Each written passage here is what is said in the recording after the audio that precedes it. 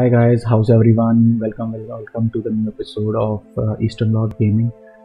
तो आज हम देखेंगे कि uh, कौन सी बेस्ट टॉप टेन गेम्स हैं अपनी uh, ये प्ले की बहुत जो बहुत जल्दी अपना एक्सपॉक्स गेम पास के साथ आपको फ्री में खेलने को मिलेंगे आप डाउनलोड कर पाएँगे फ्री में अपने एक्सबॉक्स पे या एक्सबॉक्स के गेम पास पीसी के थ्रू पीसी वर्जन पे भी तो let's begin the show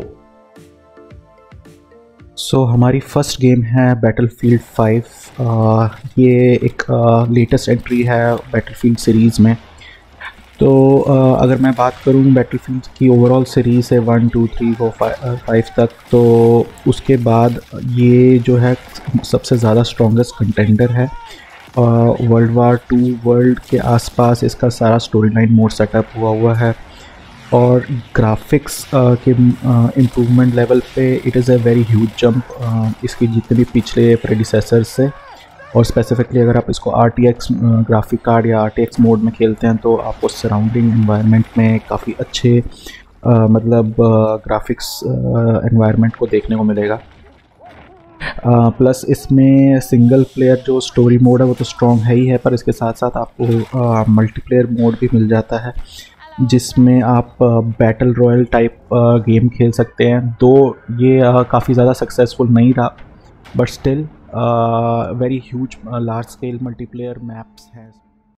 तो हमारी नेक्स्ट सेकंड गेम है अपना मास इफ़ेक्ट थ्री जो कि एक ग्रेट एंट्री लेवल है in the series of Mass Effect series में। और दो, जो ये काफ़ी पुरानी गेम हो चुकी है बट स्टिल आज 2020 के स्टैंडर्ड्स के हिसाब से भी इसका गेम प्ले काफ़ी अच्छा है। और इसका बेस्ट एंड स्ट्रॉन्ग पॉइंट है कि ये इसकी काफ़ी long store and strong story lineup है। और सिंगल प्लेयर मोड में आपको उसको खेलने में काफ़ी ज़्यादा मज़ा आएगा। और इसमें आपको मेनली आप एक ऐसे करेक्टर को प्ले कर रहे हैं जिसने अपना अर्थ को और ह्यूमन सिविलाइजेशन को प्लस और यूनिवर्स की सिविलाइजेशंस को क्रूअल एलियन रिजीम से अपने आप को बचाना है प्रोटेक्ट करना है।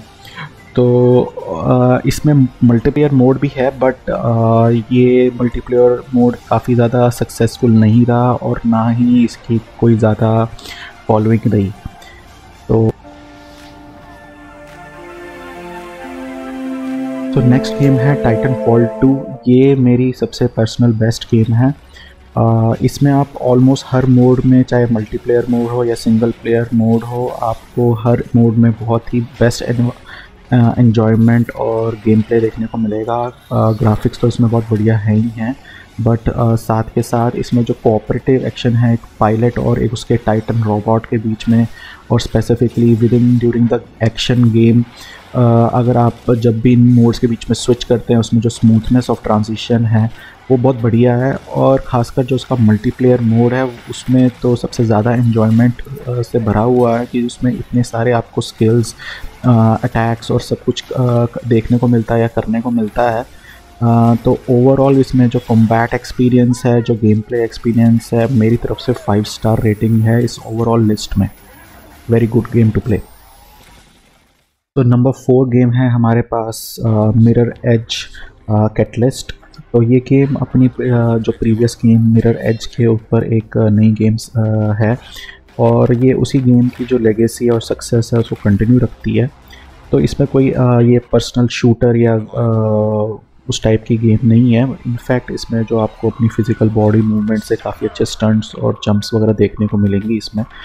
आ, प्लस इसमें जो नई गेम में पिछले वर्जन के comparatively graphic buildup player control को इस पर बहुत ज़्यादा ध्यान दिया गया है। कुछ ग्लिचेस जो एनवायरनमेंट में पिछले गेम में थे वो भी कवर अप किए गए हैं।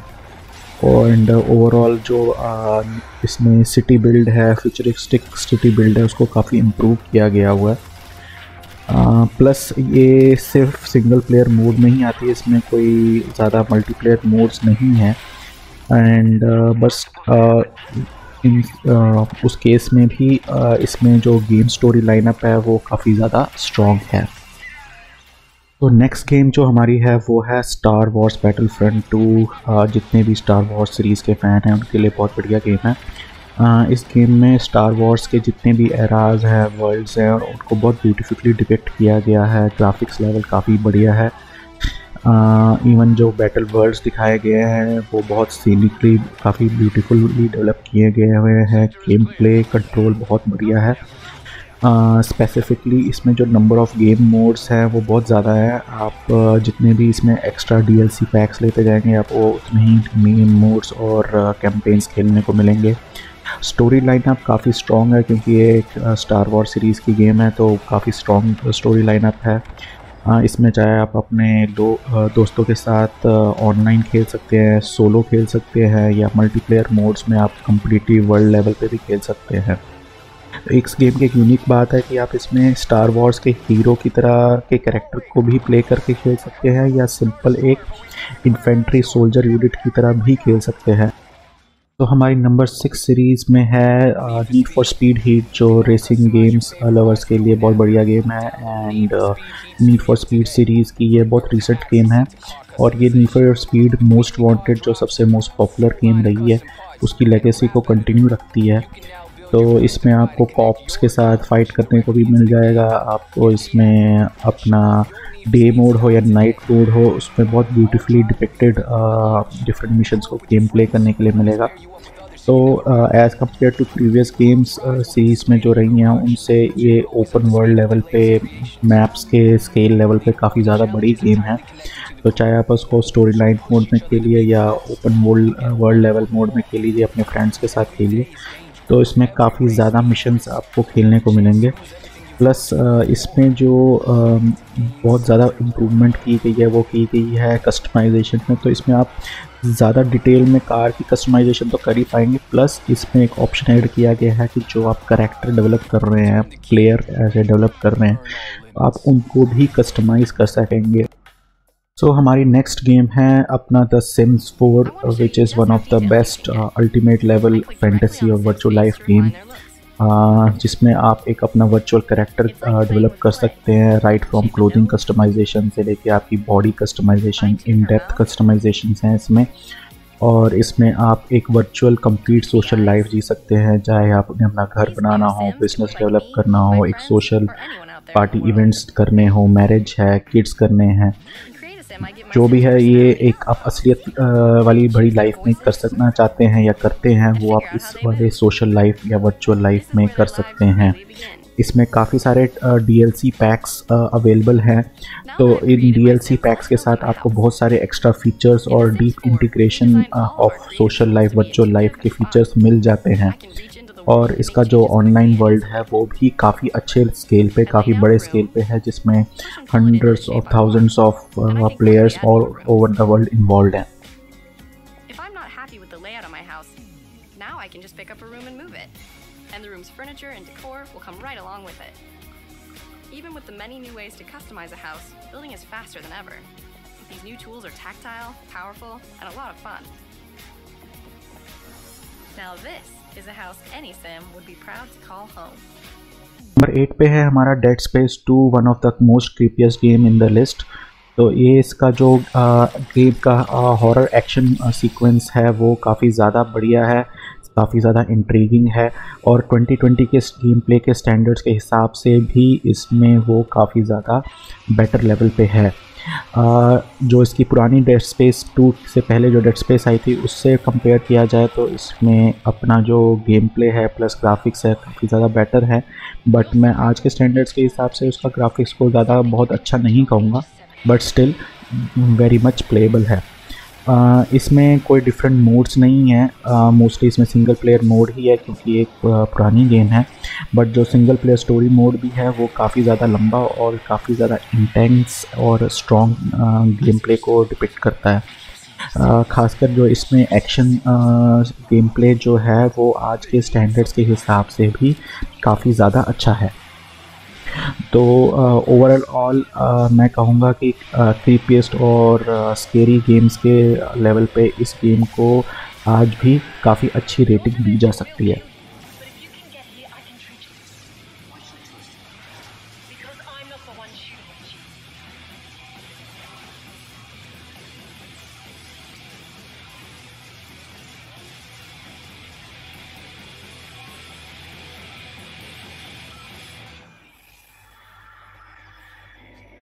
तो नंबर नाइन पे है हमारी next game Plants versus Zombie Garden Warfare two तो ये गेम जो है वो एक nostalgic plant versus zombies platform game के ऊपर डिपेक्ट की है, जो हम काफ़ी पहले मोबाइल्स और टैबलेट्स वगैरह पे खेलते थे। और ये जो गेम है, ये एक मल्टीप्लेयर मोड में डेवलप की गई है। और ये खासकर डिज़ाइन की गई है, इसके एनवायरनमेंट को डिज़ाइन किया गया है। यंगर जनरेशन के जो पीसी गेमर्स हैं, यंगर जो बच्चे हैं, उनके लिए अट्रैक्ट करने के लिए उन, इस गेम को डिज़ाइन किया गया है। बट इसके बावजूद भी इसका जो फ़न लेवल है, जो entertainment level as a multiplayer है, वो काफ़ी अच्छा है। तो इवन जो एडल्ट गेम पीसी प्लेयर्स हैं, उनको भी काफ़ी पसंद आएगा। और इसमें काफ़ी वास्ट स्केल गेम मैप्स हैं और मोड्स हैं और इसमें काफ़ी बड़े ऑनलाइन इवेंट्स भी खेले जा सकते हैं। तो ओवर ऑल एंड ऑल ये काफ़ी इंट्रीगिंग गेम है। और मैं अगर कहूँ यंगर जनरेशन के लिए तो इसको एक five star rated multiplayer game किया, कहा जा सकता है आज की डेट में। तो हमारी लास्ट गेम है नंबर टेन गेम है अनरेवल टू तो ओवरऑल लिस्ट की बात करें तो ये एक यूनिक गेम है ओवरऑल लिस्ट में। क्योंकि ये कोई ट्रिपल ए टाइटल या कोई third person first person shooter game नहीं है। ये एक प्लेटफॉर्म गेम है। इवन प्लेटफॉर्म गेम होने के बावजूद भी इसके जो ग्राफिक्स लेवल है और गेम प्ले लेवल है वो काफ़ी ज़्यादा अट्रैक्टिव है इंट्रीगिंग है। प्लस uh, आप इसको सिंगल मोड में या एक फ्रेंड के साथ डुअल uh, मोड में भी खेला जा सकता है जिसमें आपको काफ़ी अच्छी कोऑर्डिनेशन uh, बना के हर लेवल को क्रॉस करना पड़ेगा इंटेलिजेंस लेवल को यूज़ करना पड़ेगा। प्लस इसका जो स्टोरी लाइन मोड है, वो भी काफ़ी ज़्यादा इंटरेस्टिंग है तो आपको ओवरऑल गेम को कंप्लीट करने में काफ़ी ज़्यादा मज़ा आएगा। और गेम में जो प्लेटफॉर्मिंग एक्सपीरियंस है, वो सेमी फिज़िक्स गेम प्ले के साथ डेवलप किया गया है ताकि आपको हर पर्टिकुलर लेवल को क्रॉस करने में जो चैलेंज है, वो क्रॉस करने में काफ़ी ज़्यादा मज़ा आए। और रियलिस्टिक फील आए। तो ओवर ऑल एंड ऑल मैं कहूँगा ये काफ़ी हार्ड कोर प्लेटफॉर्मिंग एक्सपीरियंस आपको दे सकता है। तो uh, मेरे हिसाब से बहुत बढ़िया गेम है एक्सपीरियंस करने के लिए। तो गाइस ये थी हमारी top ten E A play की गेम्स जो बहुत जल्दी दिसंबर में आपको एक्सपॉक्स गेम पास के थ्रू फ्री में डाउनलोड करने के लिए और गेम प्ले करने के लिए मिल जाएँगी। होपफुली uh, आपको आज का वीडियो बहुत पसंद आया होगा and please do like subscribe and share ज़रूर करें हमारी वीडियोस को और बेल आइकन को ज़रूर क्लिक करें ताकि आपको हमारे आने वाले वीडियोस के बारे में पता चलता रहे। तब तक के लिए शब्बा के सायोनारा गुड बाय